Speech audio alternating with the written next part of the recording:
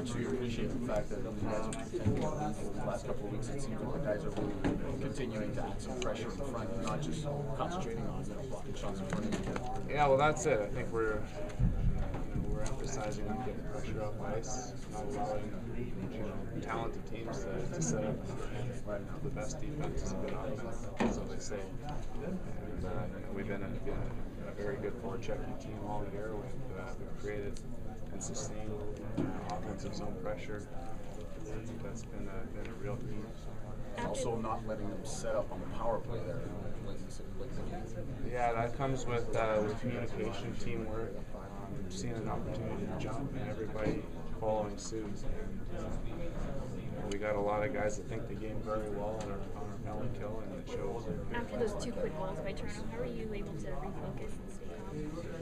Um, well, the, I think the biggest uh, the biggest key to that was realizing the situation that we're in. We still have two goals. Um, we got to keep we gotta keep your composure. It's easy to get into a situation like that and you know start panicking. That's the last thing you want to do. You guys are playing with a lot of confidence uh, lately. What's the biggest improvement on this team in the last six games? I think it's been, uh, you know, we're working well as a group. Or, you know, we're communicating pretty well.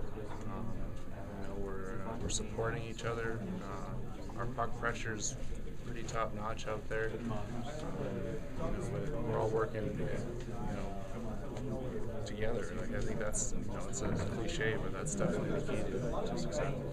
Thank you.